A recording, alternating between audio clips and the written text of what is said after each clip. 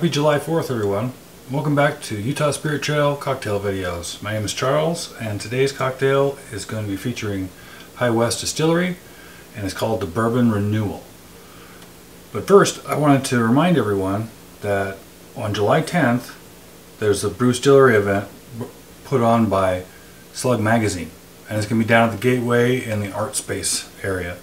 So be sure you go on down, check out all the amazing distilleries. And we're going to be there too, so be looking for our canopy. Stop by and say hi.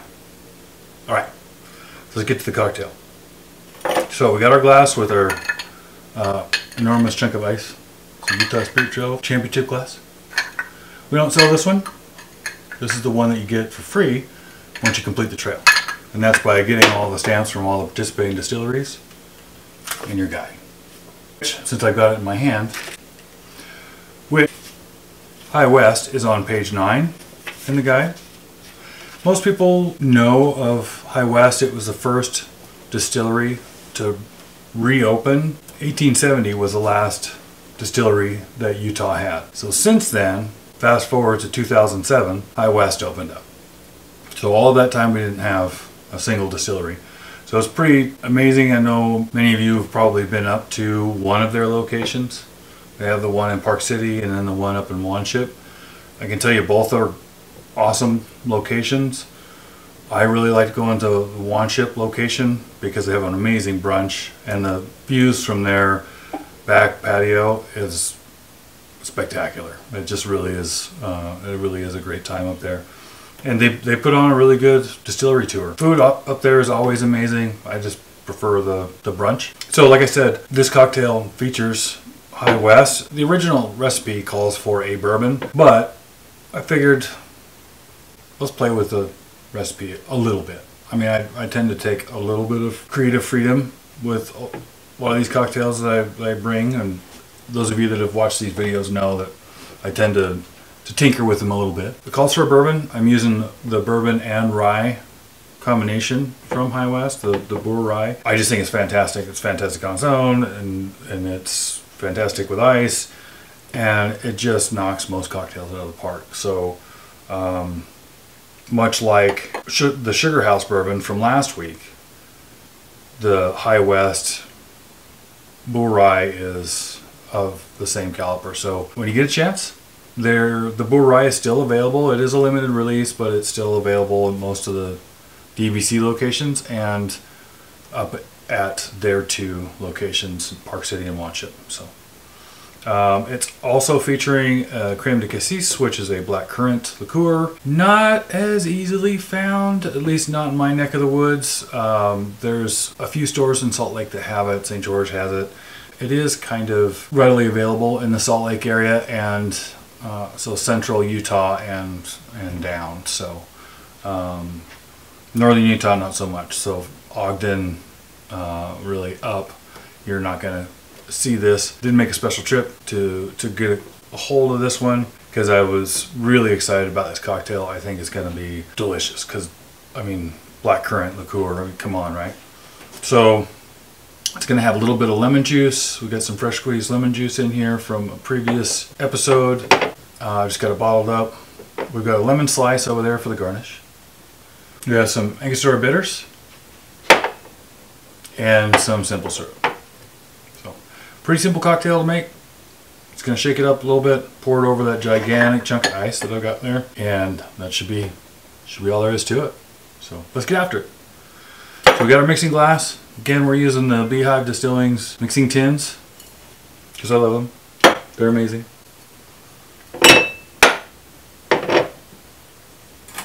Just I didn't forget to get it. It's awesome. Okay, so it is two ounces of the bourbon.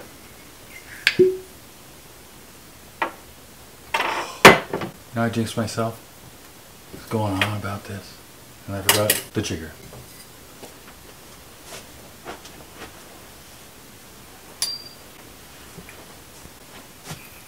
Okay, got the jigger. Two ounces of bourbon. Ah, I just, I love this stuff. Okay, half an ounce of the creme de cassis, which is the black currant liqueur.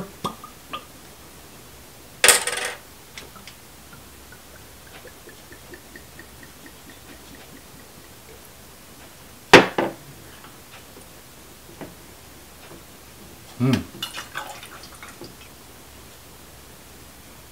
One ounce of lemon juice.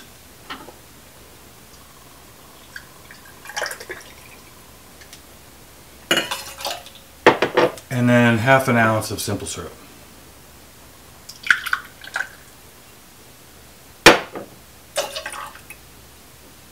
We're going to do a dash of the Angostura bitters.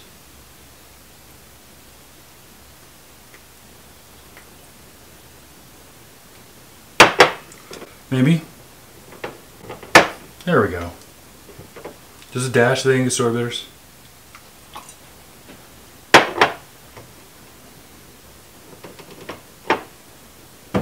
Then we're going to add some ice to the tin and we're going to give it a shake.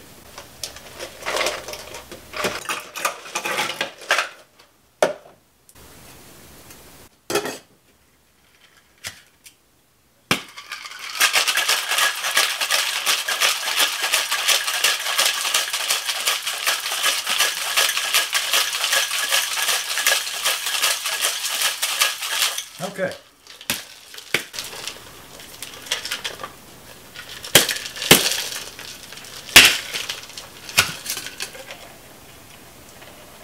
Ooh.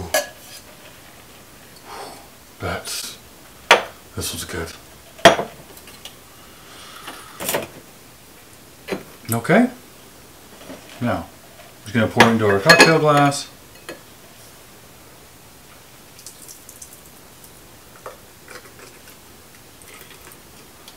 Oh wow. Oh, that's beautiful. And then we've got our lemon slice. And we're just gonna lay that on the side. And there you go. The Bourbon Renewal.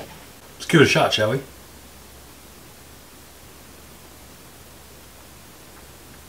Mmm. Wow.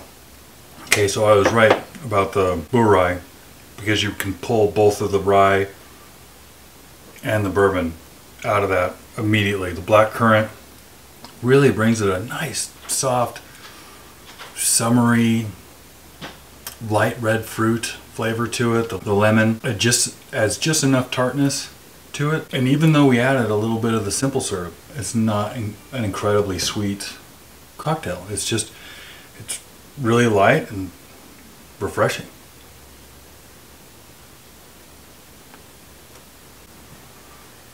You know, and I'd, I'd say that, honestly, you could probably just put a touch more of the black currant if you have maybe a taller a taller glass, right? You fill this thing with ice. And you add just a little bit more of that. And maybe instead of the lemon juice, maybe like a lemonade. Or even you want to get real sassy, get a country time, like, or any, any kind of fizzy lemonade. It's still got enough body to it, you know. Um, and add that to it instead of the lemon juice. And I think, you know, I think I'm to make that. I'll post about it in the coming weeks in the comment section for this video. I'll, I'll post about that. But I, they said the bourbon is fa fantastic. The rye, fantastic. Um, you combine them both, age them for a little while in a barrel.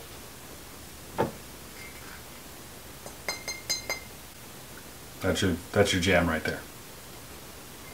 Awesome. If you haven't messed around with black currant, liqueur, um, I really encourage you to do so. It, it really is uh, a fun liqueur to play with. Um, it is in a smaller bottle. They they have it in the 750 milliliters of the DBC. Um, but I think when I say they have it, it's in their system. So you have to special order it, right? But, you know, when it comes to liqueur, I'm not entirely sure how much you're going to use in it, like a year or so. um, maybe the 375 is is the way to go with this one. But it is there is alcohol in these, so it's eight, this one's 18% alcohol. And it's a product of France. This. Oh, do you see that? Do you see that? This is 46%. So, a little bit higher, right? But delicious all the same. It actually, it doesn't drink like 46%, which is 112 proof, right? It doesn't drink like that at all. So don't let that kind of scare you off. Um, it's definitely smoother for that. So if you're a fan of bourbon, you're a fan of rye, you're a fan of both, and you haven't had that, gotta get it. Um, I'm more.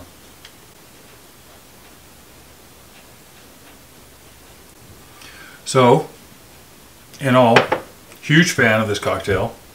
I will be definitely making this one again.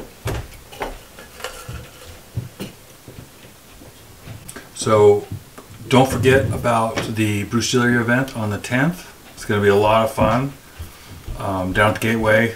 It's got it's an excellent entertainment space down there. So come on down and join us. Support your local distilleries. There's going to be a bunch of local breweries there as well, and, and a bunch of local crafts. So come on down. It's, it's not going to be just about one thing. It's going to be about just the community as a whole. So, so come on down. Stop by and say hi.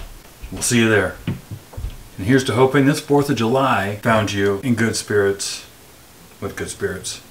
Cheers.